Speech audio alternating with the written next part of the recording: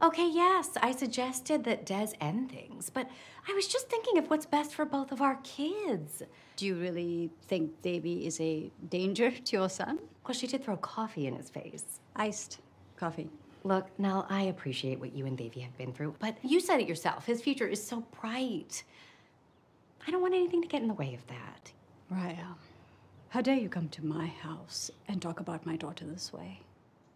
Devi does not have problems. She's just been through something unimaginable that would break someone as flimsy as you in an instant, and she has persevered. How can you talk to me like that, Nalini?